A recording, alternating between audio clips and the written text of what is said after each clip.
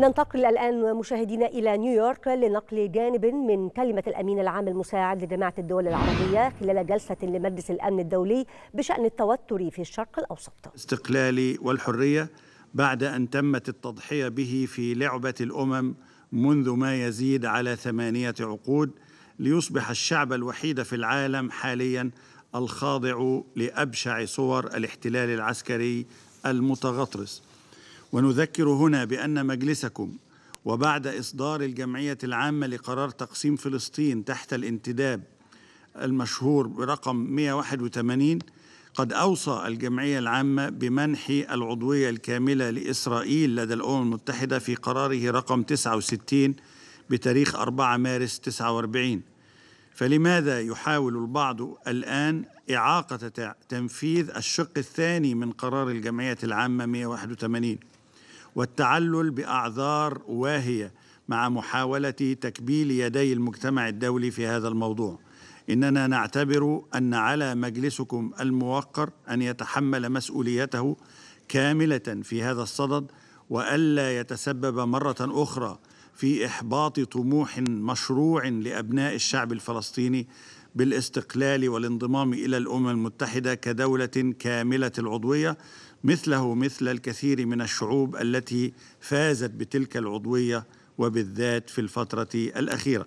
كما أن حصول فلسطين على العضوية الكاملة يجعل أي تفاوض محتمل لها مع قوة الاحتلال يتم على أرضية من الندية على المستوى القانوني ويسلب من قوة الاحتلال قدرتها الخارقة على منع ظهور الدولة إلى النور وتفعيلها دوليا من هنا فإن الجامعة العربية توصي المجلس الموقر بالاعتراف بالدولة الفلسطينية وضمها إلى عضوية المنظمة الدولية باعتبار ذلك سبيلا إلى السلام وليس عقبة في طريقه كما يروج من يتبنى منطق الاحتلال وروايته.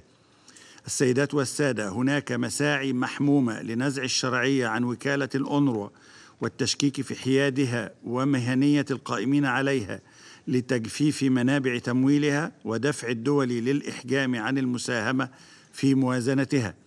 إننا نعارض هذا الأمر جملة وتفصيلا ونتطلع إلى اليوم.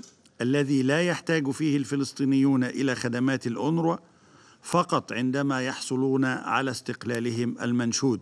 خلافا لذلك فإن هذه الوكالة المنشأة بقرار أممي يجب أن تستمر في ممارسة عملها في إغاثة وإعاشة وتشغيل ملايين اللاجئين الفلسطينيين.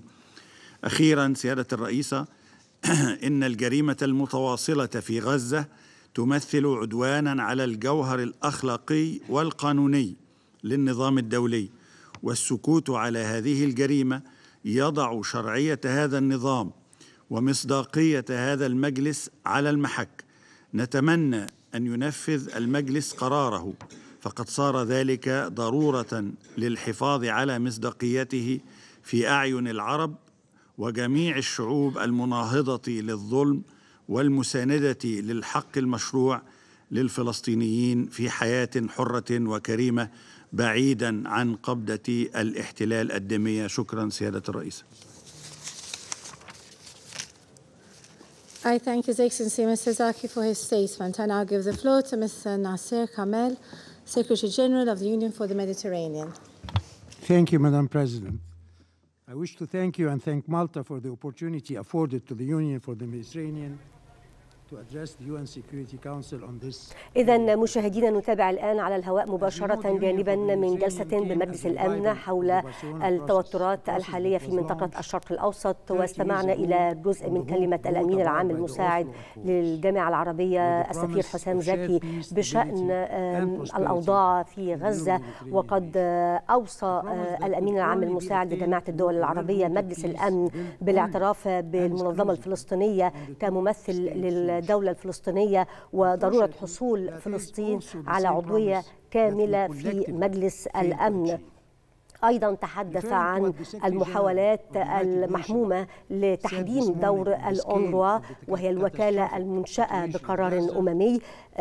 تحجيم دورها وفي فلسطين وفي غزة تحديدا ومعارضة الجامعة العربية لهذا الأمر. وتحدث أخيرا عن ضرورة يعني التأكيد على مصداقية مجلس الأمن وأن ما يحدث في غزة من انتهاكات جسيمة للأخلاق الدولية هو يضع مصداقية مجلس الأمن على المحك Madam President, on the 27th of November 2023, the Union for the Mediterranean Foreign Ministers met